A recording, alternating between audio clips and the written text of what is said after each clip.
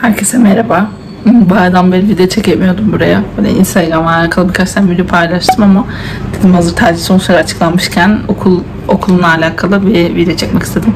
Bu seferki konumuz Yakın Üniversitesi'ndeki yurtlardan bahsedeceğim biraz. Arkadaşlar ben ilk senemde e, Yakın Üniversitesi'nde e, standart yurtlardan birine kalmışım. 7. yurttu. Yani bayağı sayfaya girdiğiniz zaman internet sitesine baktığınız zaman ve birçok kişinin böyle e, ilk yurdu diyebilirim. ilk kalacağı yer diyebilirim. 7. yurt ve 4 kişilikte hatta paket programa kayıtlıydım şu anki şeyde biraz farklı oluyor fiyatlar vesaire ama ondan bahsediyorum yakın Doğu Üniversitesi yurtları nasıldı. Hemen kendi yurdumdan bahsetmek istiyorum. Videoda daha çok yakın Üniversitesi yurtlarından bahsedeceğim. Böyle kampüslerle alakalı falan video çekmemi isterseniz onun için de ayrı bir video yaparım. E, 4 kişi yurtta kaldım. Fazla uzatmadan konuya giriyorum.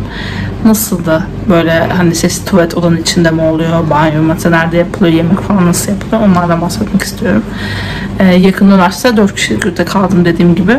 Ve arkadaşlar üzgünüm ki yani neredeyse benim e, kaldığım bölümde 7. Yurt, 7. yurtta 5 tane oda vardı yanlış hatırlamıyorsam ve 5 tane e, oda, odalar dörder kişilikti. Hani bazıları çok kalıyordu, bazıları arkadaşlar yanında kalıyordu ayrı. Ama genel itibariyle 20-25 kişiye hizmet eden bir yerdi yani o banyo ve tuvalet. Sadece 3 tane banyo vardı. 2-3 tane de lavabo, eli, elimizi yıkayacak şey vardı. Yani 3-4 tane belki olabilir lavabo biraz daha fazla olabilir ama banyo 3 taneydi ve çoğu zaman böyle solmuyordu. Ve gerçekten yakın Doğu Üniversitesi'nin e, o yurtların yani suları gerçekten berbat derece kötü tuzlu. Yüzünüzü yıkıyorsunuz bir kere tuzlu su geliyor.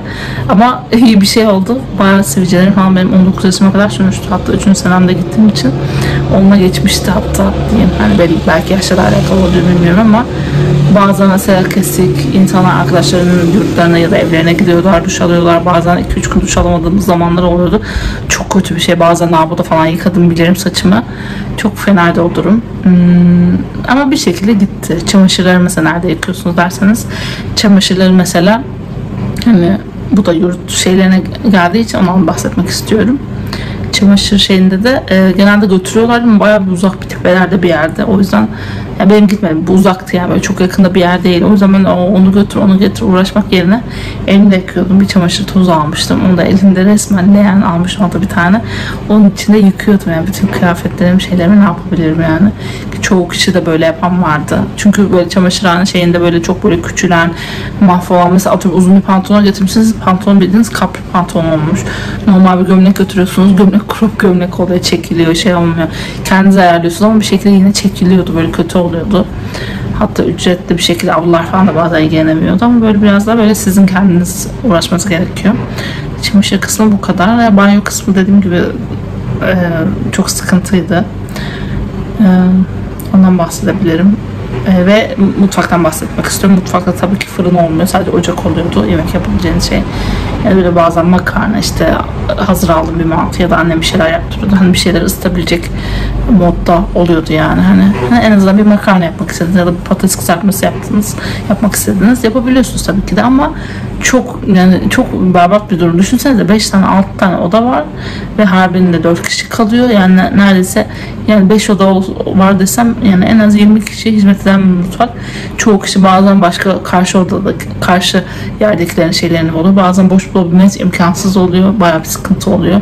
Zaten belli bir zaman sonra böyle herkes çok yemek yapan yapmayan da var ama öyle sıkıntıydı yani ben yer arıyordum yani öyle şey yapmakta çalışma şey zaten çok sıkıntıydı benim kaldığım yurtlarda genelde kütüphaneye falan gidiyordum bu arada yani böyle bir böyle boydan böyle bir şey var ama eşyalar falan olduğu için böyle böyle benim alanıma göre hani minicik bir şey oluyordu ve dört kişilik oda gerçekten çok zor hani mecbur kalmadıkça dört kişilik e, uf, ses geliyor insan umarım rahatsız olmuyorsunuzdur bayağı bir sıkıntı oluyor onun dışında ne söyleyeyim fırın yok dediğim gibi odalar ama tek bir iyi bir yanı söyleyebilirim. Normalde ben daha sonra başka bir yurtta kalmışım. Onu da söylerim başka bir videoda istersen ama bu videoda okul yurtlarından bahsetmek ist- istiyorum.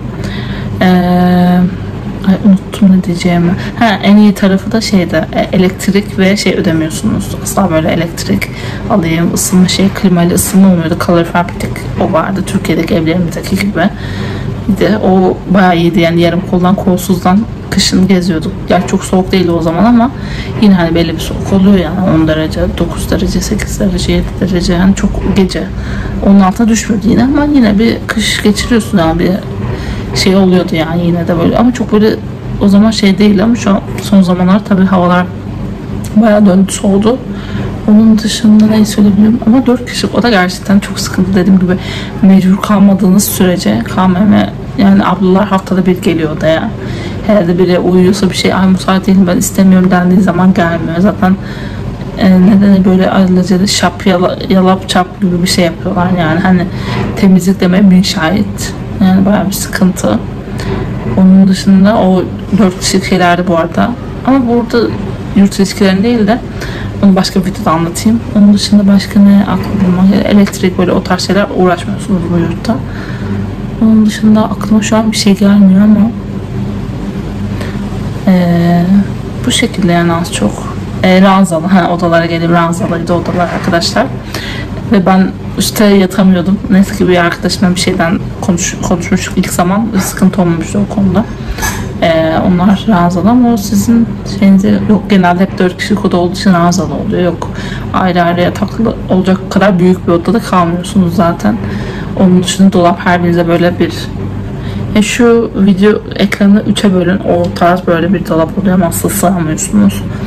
Ve otellerdeki mini buzdolaplarını biliyorsunuz. Hani en lüks otele gitseniz onun yiyecek buzdolabı böyle içecek koymalık dolap var. Düşün ve orada 4 kişi eşyalarını koymaya çalışıyor. Getirdiklerini koymaya çalışıyor. Yani çok getiren oluyor bilmiyorum ama oluyor muydu hatırlamıyorum ama bayağı bir sıkıntı çekmiştik biz yani. Yani ben mesela getirmek istiyorum bir şeyler ama asla sığmıyor. Hani güzel yurtlarda da aynı şekilde bu şekilde gidiyor ve buzdolabı almaya falan izin vermiyor. Hatta annem almak istemişti. Bu şekilde yani diyebilirim. Ben çok önermiyorum e, şey yurttan. Hani genel okul yurtları bence çok iyi değil. Ee, yemekhaneye falan başka bir videoda söyleyeyim ama ben şahsen zaten ilk sene kalıyorsunuz böyle bir kötü deneyim oluyor. İkinci sene asla olmuyor. Öyle. Bu şekilde yani. Bir derdin sorununuzda tabii ki de şey yapabiliyorsunuz bu arada. Bir muhatap olduğunuz birileri var ama böyle çok bir çözüm olmuyor. Yani o da istediğiniz gibi tabii oda değiştire falan bilirsiniz böyle anlaşamadığınız sürece ama bunlar biraz farklı bir konuya giriyor ama hani yurtla alakalı olduğu için anlatabilirim. Ama biraz sıkıntı olabiliyor daha sonra. Bu şekilde yani.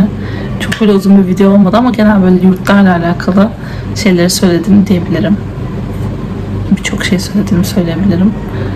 Yine siz yazın sorma, sorma, sormak istediğiniz bir şey varsa sorun yorumun alt, yorumların altına ya da e, Instagram'dan Fikret Sabuncu buraya eklerim. Oradan da sorabilirsiniz. Keyifle cevap veririm. Umarım böyle faydalı bir video olduğunu düşünüyorum. Yani ben şahsen şu zamanda yakın doğunun yakın doğuya gitseydim yakın doğunun yurtlarından e, herhangi birini tercih etmezdim. Ha, tabii ki apart ya belki biraz daha farklı ama çok bir fark etmiyordu. O da zaten odanın içinde değildi bu arada iki kişilik yurtlarda. Hani genelde o tarz olmuyor. Koridorda oluyor. Sadece 5 oda kullanıyorsa bile hani 10 kişilik bir şey olabiliyordu. Hani anlatabiliyor muyum? 4 kişilik o- odaların olduğu yerde e, 20 kişi kullanırken oradaki atıyorum 10 kişi kullanıyor ya da 8 kişi kullanıyor. Öyle bir sıkıntı var. Yani hani yaşanmaz mı? Yaşanır ama bir aile evinden hani normal e, apartman olsun ya da normal bir eviniz olsun çok güzel olmayan bir eviniz dahi bile olsa gerçekten o evi çok arıyorsunuz yani gerçekten bilmiyorum bayağı bir boşluğa düşüyorsunuz ya da böyle çok güzel bir aile evinde oturuyorsanız çok böyle farklı bir aile evinde oturuyorsanız farklı yani ama hani kalınmaz değil kalınır bu arada kantin var yurdun içinde kantin vardı İstediğiniz böyle toz, toz tarzı böyle bisküvi, içecek tarzı şeyler alabiliyorsunuz. Hatta ben o sayede o yüzden ve dışarıdan tabii çok yemek yiyerek bayağı 16 kiloya yakın bir kilo almıştım. Çok fena görüyorsunuz halimden. Şu an hatta 5-6 kilo fazla bir şeyim.